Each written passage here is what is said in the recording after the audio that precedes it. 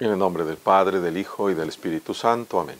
Soy el Padre Ángel de la Iglesia Ortodoxa. Bienvenidos para el sermón de enero 13 del 2021 según San Lucas. Las lecturas de Lucas capítulo 20 del 1 al 8. Y hoy hablamos de la religión de Dios. ¿Qué quiere decir religión?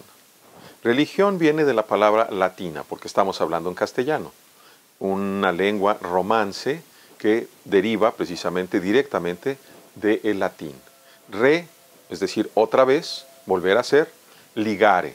Ligare, que como suena casi casi va a ligar, amarrar, a volverte a amarrar.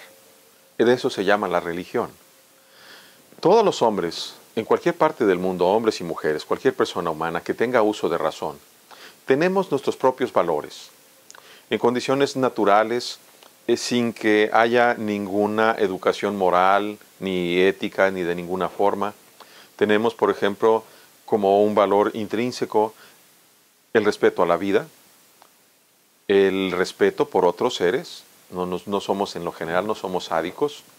Tenemos necesidades como comer, como beber, como protegernos, como etcétera, dormir. Y ahí se podría juntar una serie de valores por los cuales un hombre o una mujer en cualquier parte del mundo se va a, vivir. Por eso el que tiene capacidad, pues si le gusta la carne, comerá la carne los días que se le antoje y que pueda.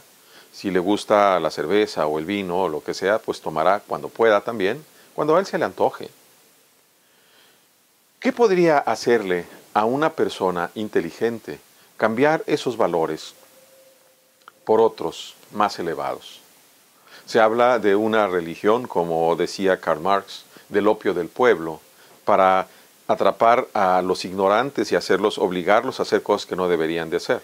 Y eso en realidad es algo muy torpe, porque para una persona pensante no hay nada que otro pueda ofrecer por lo cual yo pueda cambiar mis valores. Podría pensar que me gusta algo que sea, por ejemplo, vegetariano, porque necesito bajar mi colesterol y entonces yo adapto, acuerdo a mis necesidades, algo por lo que yo pueda valer la pena cambiar. Pero, por ejemplo, si a mí me gusta la carne, ¿por qué voy a dejar de comer carne? Si a mí me gustan las mujeres, como soy hombre, ¿por qué voy a dejar de tener mujeres? A lo mejor tengo mi esposa, pero si tengo dinero y soy tramposo, pues me doy mis vueltas y con dinero puedo pagar otras mujeres que estén conmigo, etc. ¿Por qué voy a dejar de hacer eso? Pues solamente cuando hay un objetivo mucho mayor. Y el único que puede darnos un objetivo valedero es Dios. La única religión verdadera que es verdaderamente viable y verdadera religión es aquella religión en donde Dios se nos presenta. Por eso, de acuerdo a la tradición universal en el mundo, en el único lugar en donde el Hijo de Dios ha venido a revelarse es precisamente en Jerusalén, en Palestina, en Israel. Y es el propio Hijo de Dios el que ha venido a darnos una serie de condiciones para seguirlo. Y yo libremente y tú también decidimos religarnos para seguirlo a Él. Pero si viene otro a decirte que va a cambiar aquello que Él hizo en su nombre, es precisamente lo que ya Él nos advirtió. Muchos vendrán usurpando mi nombre. ¿Para qué? Para hacer negocio, para aprovecharse de ti, para robarte, para etcétera, para amedrentarte y tenerte esclavizado. Esa no es religión. Abre bien los ojos y fíjate en dónde estás, porque bendito nuestro Dios eternamente, ahora y siempre, y por los siglos de los siglos. Amén.